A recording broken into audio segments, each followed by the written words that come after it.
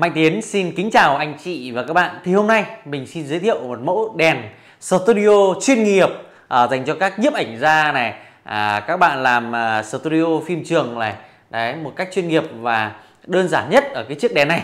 Thì thưa quý vị các bạn thì các bạn đã biết quá nhiều về cái chiếc đèn mà studio nó dài rộng như thế này rồi, đủ màu hiệu ứng, đấy và có chân đứng cao như này khi mà các bạn muốn chụp hình hay make up, đây sử dụng studio chuyên nghiệp. Nhưng ngày từ xưa đến giờ là các bạn hay sử dụng à, bằng thông thường bằng tay cắm điện bằng tay. Đây cắm điện trực tiếp đây. Rút ra rút vào bằng tay. Đây như này. Tối quá anh em ạ. Đây mình sẽ bật điện thoại lên để cắm điện vào. Đấy.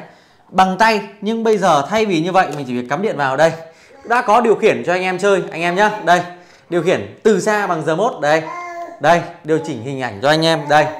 Cân chỉnh ánh sáng luôn. Đấy đây là một điều rất là tuyệt vời. Rất tuyệt vời và chân rất là chắc chắn. Chân rất là chắc chắn khi mình làm một studio chuyên nghiệp, cái này có thể điều chỉnh 360 được. Và cái bóng ở bên trong này là 150W 150W anh em mình thoải mái sử dụng. Đây, mình lại điều chỉnh tiếp tục ánh sáng này. Anh em nhìn thấy cái da mình có phát đây.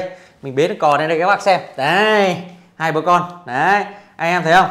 Một điều đấy rất là tuyệt vời đấy, da sáng trắng chưa? Đấy, điều đấy rất là tiện ích. Và đây một cái điều mà mạnh kiến vừa mới phát hiện ra rằng là khi mà các bạn sử dụng cái đèn này, nó qua một cái lớp bạc như này, đây, thì hiệu ứng của nó không bị hại mắt không bị ánh mắt đấy, rất là tốt cho anh em mình sử dụng. Đây đây là con trai mình. Đây, mình thử đây, hai bố con này, ánh rất là sáng. Đấy, rất là sáng. Đấy đấy, rất là sáng. Điều chỉnh ánh sáng cân chỉnh tùy từng phim trường nhé các bạn nhé nếu các bạn thấy hay thì nhớ cho xin mạnh tiến xin một like, một chia sẻ. Các bạn ạ, rồi xin chào, hẹn gặp lại quý vị